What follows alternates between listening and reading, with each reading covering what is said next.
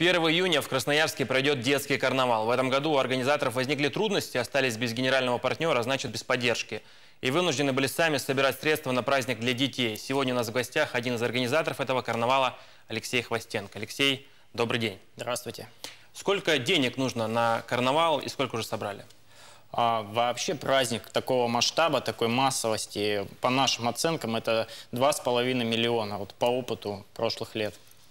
А, собрали, сейчас сложно говорить, потому что активно включилась администрация города и краевое правительство, и они просто взяли на себя часть расходов, и в этом смысле. А собрали денег именно э, в рамках краудфандинга, да, э, общественного финансирования. За меньше, чем за неделю нам э, люди города принесли 200 тысяч, ну, побольше даже, чем 200 тысяч рублей. Вот эти 2,5 миллиона рублей, они на что идут? А, смотрите, на самом деле организация городского праздника – это очень большая работа. И там статьи расхода, ну, просто тьма, на самом деле. Я приведу маленький пример, что сколько, вы думаете, стоит сцену арендовать, большую сцену, вот единственная у нас в городе, которая есть, а, боюсь ошибиться с цифрами, но это не меньше 100 тысяч рублей. И вот таких вот по чуть-чуть, по чуть-чуть э, набирается там 2 миллиона, и это еще немного. То есть, на самом деле, какой-нибудь день города, я не думаю, что меньше 15 15 стоит на самом деле. Администрации города и края, они сразу же подключились? А, традиционно карнавал поддерживается администрацией, вот, но в какой-то момент, по-моему, с 2013 года а, перестали финансировать э, в должном объеме. То есть э, по практике вот прошедших лет где-то треть денег выделяется через гранты. А, и вот в этом году а, нас спасло то, что а, подключилось краевое правительство и сам губернатор Красноярского края Виктор Александрович Толоконский, он а, проект, ну, можно сказать, а, взял под протекцию.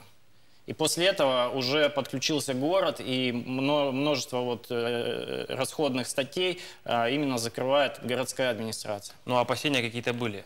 Опасения были серьезные. Не в том, что он пройдет или нет. Э, карнавал – традиция, она народная, и она в любом случае должна жить. А насколько масштабным, красивым, э, эффектным будет праздник. Это же э, День всех детей. Представляете себе, сколько детей в Красноярске, и как мы их можем оставить без красивого, такого искреннего, настоящего праздника. Ну и вот насколько масштабным, красивым будет этот праздник? Э, я надеюсь, что он будет максимально масштабным и красивым. Ну, пускай он будет не таким а, красочным, как был, допустим, вы помните, общегородской карнавал, который еще Петр Иванович Пимашков а, основал, да, был родоначальником. То есть там деньги тратились, ну, про просто сумасшедшие по сравнению с детским, то есть там несопоставимы. Вот. Но, тем не менее, мы ожидаем, что будет очень красиво и очень здорово. Что конкретно будет, какие площадки? А, Чему будет посвящен? Тема же есть? Да, тема этого года э, кинематограф. А, мы знаем, что 2016 это год российского кино. А, соответственно, любая э, все, что связано с кинематографом, будет реализовано в костюмах, в антураже, в активностях сценических и так далее.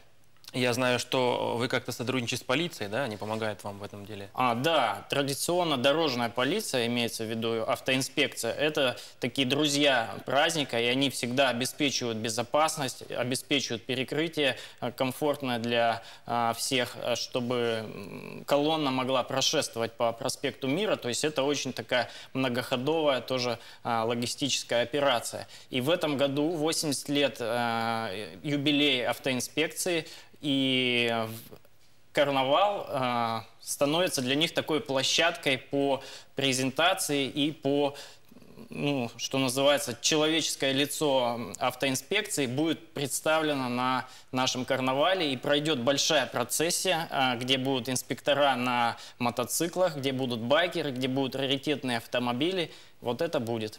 И ленточки, да? Вот. Да, про ленточки отдельный сказ. А, с этого года, а, ну вообще традиционно, расцветка в горошек – это такая символика детства, э, радости и чего-то такого живого. А, ленточку в горошек мы выбрали символом карнавала в этом году. Мы раздадим несколько тысяч ленточек жителям города, и как тем, кто придет на праздник, так и заранее. То есть мы хотим, чтобы ленточка в горошек стала символом детства, и все могли повязать ее на антенну автомобиля, допустим, на рюкзак. И когда мы увидим, что весь город а, ценит детство, уважает детей и готов уделить им должное внимание, мне кажется, наша жизнь изменится к лучшему.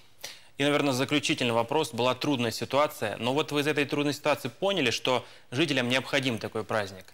Мы это поняли для себя гораздо раньше, но в этом году э, мы поняли, что город действительно включился в это и отдает должное той теме, э, которую мы развиваем и в которой работаем. Спасибо большое, Алексей. У нас в гостях был Алексей Хвостенко, один из организаторов детского карнавала.